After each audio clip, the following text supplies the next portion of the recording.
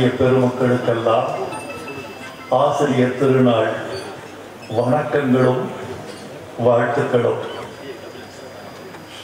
ஒரு அற்புதமான மாலை பொழுதில் நாம் இங்கே கூடியிருக்கிறோம். இது ஒரு கொண்டாட்டம். இது ஒரு உற்சவம். இது ஒரு திருவிழா. நான் இந்த மேடையில் இரண்டு மூன்று செய்திகளை பகிர்ந்து கொள்ள விளைகிறேன் நீண்ட நேரம் எடுத்துக்கொள்ள மாட்டேன். ஆனாலும் கூட சில செய்திகளின் பொருள் கருதி ஒன்று அல்லது இரண்டு நிமிடங்கள் அதிகமானால் பொறுத்தருட வேண்டுகிறேன். நான் சில பேரை பாராட்ட வந்திருக்கிறேன். இந்த மண்ணில் நிலத்தடி நீரும் பாராட்டும் மட்டும்தான் குறைந்து கொண்டே போவதாக நாடு நம்புகிறது. இந்த இரண்டும் குறையாமல் இருந்தால் சமூகம் ஆரோக்கியமாக இருக்கும். நான் என் அருமை நண்பர் மணிரத்னத்தை பாராட்டப் போகிறேன். முப்பத்தைந்து ஆண்டுகள் ஒரு மனிதன் கலை உலகில் தொடர்ந்து தொய்வின்றி இடைவெளி இல்லாமல் வெற்றி தோல்விகளின் பாதிப்பு இல்லாமல் உடல் நலத்தின் தாக்கங்களை தாண்டி பொருளாதார வீழ்ச்சிகளையும் தோல்விகளையும் தாண்டி சமூக மாற்றங்களை தாண்டி முப்பத்தைந்து வருடங்கள் ஒரு மனிதன் அதே உணர்ச்சியோடு இருக்க முடியும் என்றால் மனிதன் தான் இந்த முப்பத்தைந்து ஆண்டுகளில் எவ்வளவோ மாற்றங்கள் வந்திருக்கின்றன. மூன்று முதலமைச்சர்கள் மறைந்து போயிருக்கிறார்கள். நான் ஏழு ரூபாய்க்கு போட்ட பெட்ரோல் இன்றைக்கு எண்பத்தி ரெண்டு நாற்பத்தி எட்டு ஆகியிருக்கிறது நான் ஆயிரத்து அறுபத்தி நாலு ரூபாய்க்கு வாங்கிய ஒரு சவரன் தங்கம் இன்றைக்கு இருபத்தி ரெண்டாயிரம் இருபத்தி நான்காயிரத்து இருநூற்று எழுபத்தி ரெண்டு ரூபாய்க்கு வந்திருக்கிறது. சமூக விழுமியங்கள் மாறுகின்றன. கல்யாணம் ஆகும் முன்னே கையை தொடலாகுமான்னு ஒரு பாட்டு. ஆணும் பெண்ணும். கல்யாணம் ஆகும் முன்னே கையை தொடலாகுமா? அடுத்தவை வையம் இதை ஏற்குமா? இப்படி இருந்துச்சு தமிழ்நாட்டின் விழுவியம் ஆணும் பெண்ணும் காதலிக்கலாம் தொட்டுக்கொள்ளக் கூடாது. இது ஒரு முப்பது நாற்பது ஆண்டுகளில் விழுவிய மாற்றத்தை பாருங்க. இன்றைக்கு ஒரு சிலர் குழந்தை மட்டும் பெற்றுக்கொள்ள வேண்டாம் என்று மாறி இருப்பதாக தோன்றுகிறது. இந்த மாற்றங்களை பாருங்க. இவ்வளவு மாற்றங்களுக்கு மத்தியில அவர் ரோஜா பண்ண நாயகன் பண்ண அதே உணர்ச்சியோடும் எழுச்சியோடும் ஈர்ப்போடும் இன்னும் அவர் பணியாற்றி கொண்டிருப்பதை பார்த்து நான் பெரிதும் வியப்படைகிறேன். இது தொடர வேண்டும் என்று விரும்புகிறேன். இந்த படத்தில் எனக்கு ரொம்ப பிடித்த விஷயம் இந்த தலைப்பு. செக்கச் சிவந்த வானம்.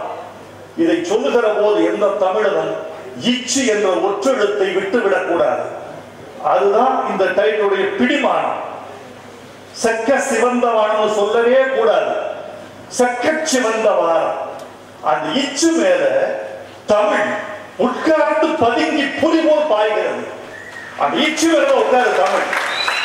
இந்த செக்கச்சிவந்த வானம் என்கிற இந்த தலைப்பில் இளமை இருக்கிறது அதிரடி இருக்கிறது அழகியல் இருக்கிறது. இந்த மூணு இருக்கு. இது எல்லாத்தையும் தாண்டி இந்த படம் பற்றிய குறியீடாக இருக்கிறது. இந்த சிம்பாலிக் டைட்டில் என்று சொல்ல வேண்டுமானால் செக்கச்சிவந்த வானத்தை சொல்லலாம் தலைப்பு வைப்பதற்கு ஒரு ஞானம் வேண்டும். மேல்நாட்டில் ஒரு படம் தி விண்ட் cannot read அப்படின்னு ஒரு டைட்டில் காற்றுக்கு படிக்க தெரியாது டைட்டில் எவ்வளவு அழகா இருக்கு. எப்படி போடுறான் தெரியுமா? காற்று வேகமாக அடிக்கிறது. அப்படி ஒரு பூங்காவை கடக்கிறது. பூங்காவில் ஒரு அறிவிப்பு பலகை. டோன்ட் பிளக் த ஃப்ளவர்ஸ் பூக்களை பறிக்காதீர்கள் ஒரு போர்டு இருக்கு. காற்று வேகமா அடிச்சு பூக்களை எல்லாம் உதிர்க்கிறது. இப்ப போடுறான். The wind cannot ரீட் காற்றுக்கு படிக்க தெரியாதுங்கிறான் தலைப்பிலேயே உள்ள ஈர்த்து ஈ- ஈர்க்குது. செக்கச்சிவந்த வாரம் மிகச்சிறந்த தலைப்பு. என் நண்பர் ஏ ஆர் ரகுமானை பற்றி நான் சொல்லியாக வேண்டும். அவர்கள் என்னை பற்றி அதிகமாக சொல்லவில்லை இந்த சமூகத்தில் ஒரு மெல்லிய குற்றச்சாட்டு இருக்கிறது. எனக்கு தெரியும் அவர்கள் நெஞ்சுக்குள் வைத்திருக்கிறார்கள் என்று. அவர்கள் மொழியால் பேசுவதை விட கலையால் பேசுவதில் கெட்டிக்காரர்கள் மணிரத்னம் சார் நீங்க மெட்ராஸ்டாக்கீஸ்ல சிறந்த படங்கள்லாம் தயாரிச்சிருக்கீங்க. மிகச்சிறந்த படைப்புகள் மெட்டாஸ்டாக்கீஸ் ரொம்ப நீளமான பயணம் பண்ணுகிற ஒரு நிறுவனம் மெட்டாஸ்டாக்கீஸ் ஆனால் நீங்கள் மிகச்சிறந்த படைப்பை மெட்ராஸ் டாக்கீஸ்ல தயாரிக்கல. கவிதாலயால தான் தயாரிச்சீங்க அது ரோஜா இல்ல. ஏ ஆர் ரகுமான் என்கிற படம் இந்த நேரத்தில் மறைந்த இயக்குனர் சிகரம் பாலச்சந்திரன் அவர்களை நான் நன்றியோடு நினைத்து பார்ப்பேன். அந்த பெருமகன் இல்லை என்றால் இந்த முக்கூட்டணி இல்லை. இந்த கூட்டணி அவர்களுடைய அவர் ஒரு பெரிய பீஷ்மர் மாதிரி. எங்களை வாழ்த்திட்டு போயிருக்கிறார் அந்த பெருமகனின் புகழ் பல்லாண்டு வாழ வேண்டும். தமிழர்கள் அவரை மறந்துவிடக் கூடாது பெரிய நட்சத்திர பட்டாளம் சிம்பு அருண் விஜய் தியாகராஜன் இன்னும் ஐஸ்வர்யா ராஜேஷ் அதித்தி ராவ் ஜோதிகா பிரகாஷ் ராஜ் இத்தனை பாத்திரங்களை எல்லாம் உள்ளிழுத்து போட்டு இத்தனை பேர் பங்கு தருவதே ரொம்ப பெருமை இத்தனை பேருக்கு பங்கு தரணும். விருந்துக்கு அழைப்பது முக்கியமல்ல. முதலில் பரிமாறப்பட்ட அதே பதார்த்தம் கடைசி இறைவரைக்கும் இருப்பதுதான் சிறந்த விருந்து. இத்தனை பாத்திரங்களை பங்கெடுக்க வைப்பது முக்கியமல்ல. அத்தனை பாத்திரத்தையும் ஒரு இயக்குடன் தன் கற்பனையை ஊற்றி நிறைக்கிறார் வழிய விடுகிறார். இந்த படம் ஒரு அனுபவமாக இருக்கும் என்று நினைக்கிறேன். இந்த படத்தின் வெற்றியை பற்றி எனக்கு சந்தேகம் இல்லை வியாழக்கிழமைக்கு பிறகு வெள்ளிக்கிழமை என்பது போல இந்த வெற்றி நிச்சயமானது என்று நான் நம்புகிறேன். இன்னும் நாங்கள் தொடர்ந்து படங்கள் செய்ய வேண்டும். இந்த படத்தை ஒரு பாட்டை பற்றி சொல்லணும் இல்லையா? ரகுமானுக்கு நான் நன்றி சொல்லி மணிரத்னம் சாருக்கு நன்றி. மெட்டு எழுதி மெட்டு போட்டு எழுதி அது ஒரு முப்பது நாற்பது தேர்வுக்கு ஆளாகி நாங்கள் இருவரும் செல்லமாக சண்டை விட்டு எங்கள் சண்டைகள் எல்லாம் ஒரு பூனை தாய் குட்டியை கவுவது மாதிரி காயமில்லாத சண்டை. கொஞ்சம் வலிக்கும். ஆனால் கூட ரத்தம் வராது. ரத்தம் வராமல் விடுவது. ரகுமான் வந்து ஊசி போடாம ரத்தம் விடுகிறத ரொம்ப கேட்டுகிறார் இது பெய்யன பெய்யும் மழை என்று என்னுடைய கவிதை தொகுதி. அது அது இவர் அலமாரியில் இருந்திருக்கு. அதை எடுத்து படித்து அதிலிருந்து ஒரு காதல் கவிதை எடுத்து காதல் பாட்டாக்கி இருக்கிறார். அதாவது மகாகவி பாரதியாருக்கும் பாவேந்தர் பாரதிதாசனுக்கும் தான் கவிதைகள் பாடலான வரலாறு உண்டு. நான் அவர்களை விட அவர்களை போல் பெரியவர் அல்ல. அவர்கள் கடல் நான் துளி. இந்த துளிக்கும் கடலுக்குரிய முகவரியை கொடுத்த மணிரத்னம் அவர்களை நான் பெரிதும் பாராட்டுகிறேன்.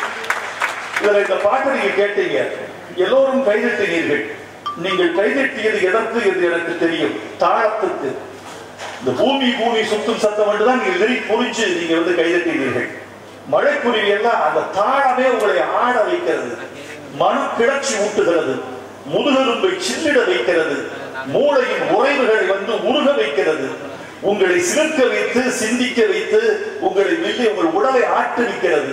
மூளைக்குள் ஒரு மதுவை சுரக்க வைக்கிறது. இதுதான் இசையின் வேலை.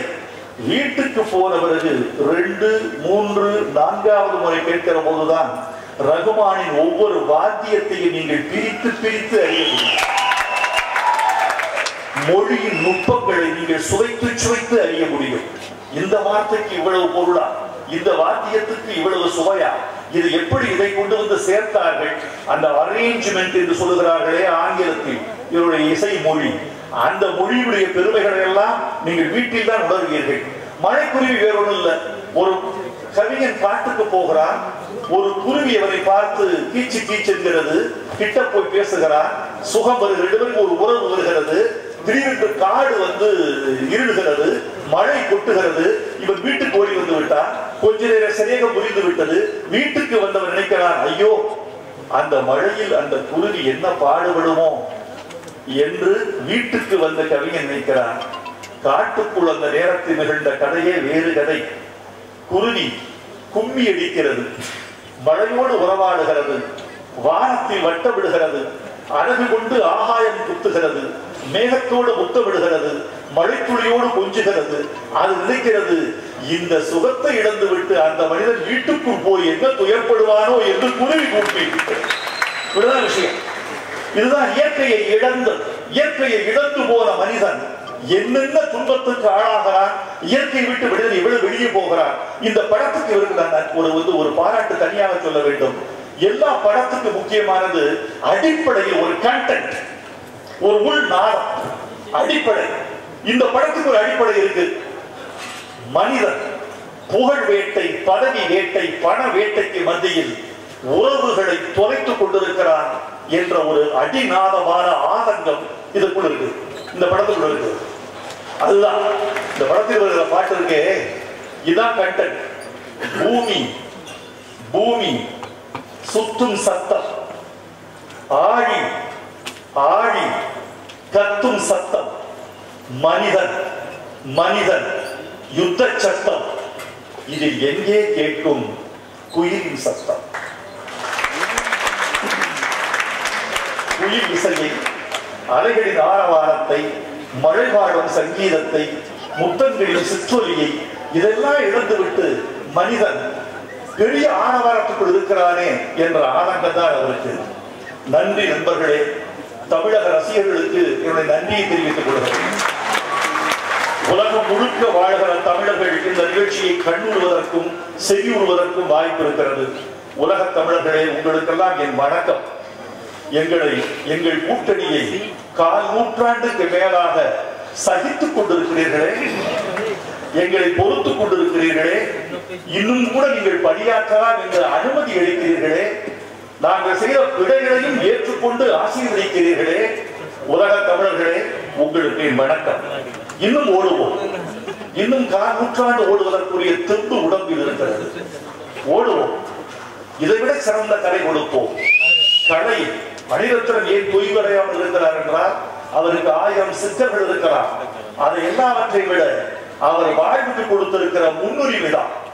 அவர் வாழ்வின் முன்னுரிமை என்பது பணம் அல்ல குடும்பம் அல்ல நண்பர் அல்ல. மனிதத்தனம் தன் வாழ்வின் முன்னுரிமையாக கருதுவது கலை. கலை. கலை மட்டும்தான். அதனால்தான் அவர் இன்னும் ஒருபடி முன்னேறி இருக்கிறார். உடம்பெல்லாம் அனுபவங்கள் கொட்டி கிடக்கின்றன. சின்ன வயதில் வாழ்க்கையை உணர்ச்சி மயமாக பார்த்தோம். இப்போதுதான் உணர்ச்சியில் அறிவை குழைத்து பார்க்கிறோம். அனுபவத்தால் பூரித்து கிடக்கிறது வாழ்க்கை. அனுபவத்தால் செழித்து கிடக்கிறது நாட்கள். இந்த அனுபவத்தை கொண்டு இன்னும் புதிய புதிய உயரங்களை தொட வேண்டும் என்று ஆசை இருக்கிறது. தமிழர்கள் துணை இருக்க வேண்டும். இந்த கூட்டணி இன்னும் பல ஆண்டுகள் தொடர வேண்டும். என் கவிதைக்கு இசை ஊட்டி தமிழர்களை தாராட்டியதற்காக மணிரத்னம் ரகுமான் உங்கள் இரண்டு பேருக்கு மீண்டும் என் கவிதை நன்றி சொல்கிறது.